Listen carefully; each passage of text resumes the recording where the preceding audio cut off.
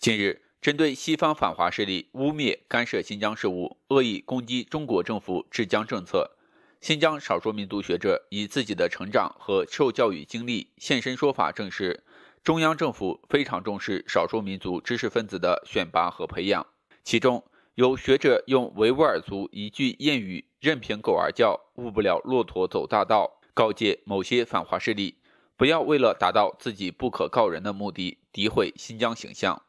新疆社会科学院历史研究所副所长、历史学博士马赫穆提·阿卜杜外利出生在昆仑山脚下一个偏僻的小县城。我出生在昆仑脚下的一个小小的一个县城。我们家五个孩子都上了个大学。呃，我记得在读读大学期间，我作为一名一名少数民族学生，不仅没有交过一分钱的学费和住宿费，而且每个月还有足够的伙食补贴。大学毕业后的马赫穆提·阿卜杜外利因在工作中表现优异，被国家选派到加拿大一所高校交流学习。在工作期间，我有幸被列入国家少数民族高层次骨干人才培养计划，获得去加拿大大不列颠哥伦比亚大学亚洲研究中心作为一年的访问学者的机会。在此期间，我每月还能从中国加拿大领事馆领取。一定的生活补助。马赫穆提·阿卜杜外利经常因工作的原因前往新疆南疆调研考察。他告诉记者，他看到了新疆各民族人民的生活正在发生翻天覆地的变化。小小的一个村里面，呃，有那个美容美发店呀，好几个美容美发店，然后干洗店呀什么的，以前从来都没有有过。这表明，呃，人民群众的那个，呃。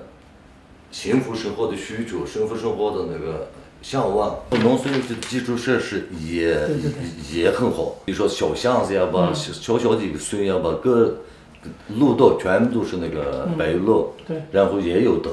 马赫穆提·阿卜杜外利还告诉记者，自己并不是孤立，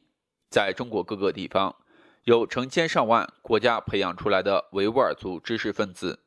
美国涉疆法案。对新疆稳定发展局面无端指责和肆意抹黑。作为一名维吾尔族学者，他表示强烈谴责和坚决反对。现在维吾尔族学会确实是有那个呃呃那个大发展的一个一个阶段，因为思想解放了，第一个，呃，生活水平提高了，嗯，幸福感也提升了。所以国外说的那个嗯新疆。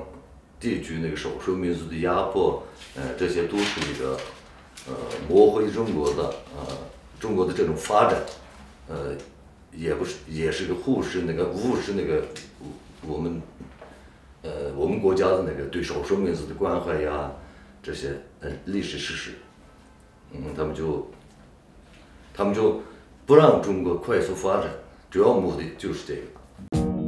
更多精彩尽在中国新闻网客户端。